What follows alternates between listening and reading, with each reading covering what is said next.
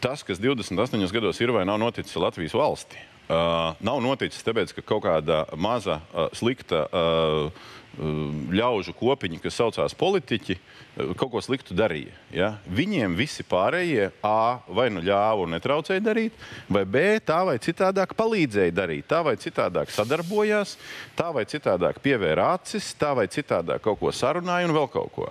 Uh, Un, un, un nebija pietiekami kritiski. Jo, jo nu, tāda sta standarta uh, definīcija ir, ka politiķi izdarīs tikai tik daudz, cik uh, vēlētājs viņus piespiedīs izdarīt. Pretējā gadījumā viņi izlaidīsies. Un uh, es uzskatu, tāpatās kā izlaidās savulaik Latvijas ceļš.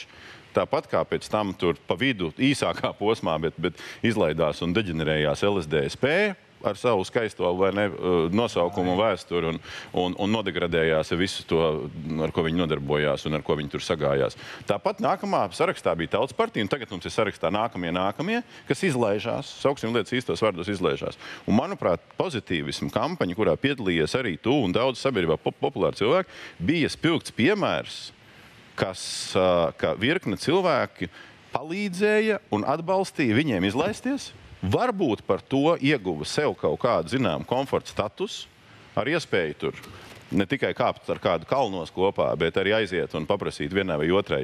Ne jau sev privāti, bet savam profesionālam darbam kaut kādu lietu. Citi to nevarēja.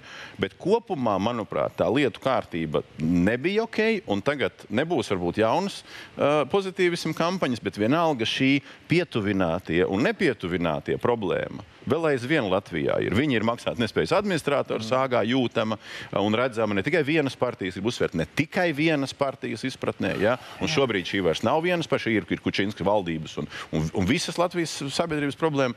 Un, un, manuprāt, tāpēc es redzēju, ka tā evolūcijas uh, jautājuma padarīšana arī pabriks gan vecā partijā, gan jaunā, gan paristi un attīstībieši, kuri bija citās partijās, tagad zem šādiem nosaukumiem, tas vienalga ir jautājums, vai viņu politiskās darbības kvalitāte evolucionē vai tikai transformējās.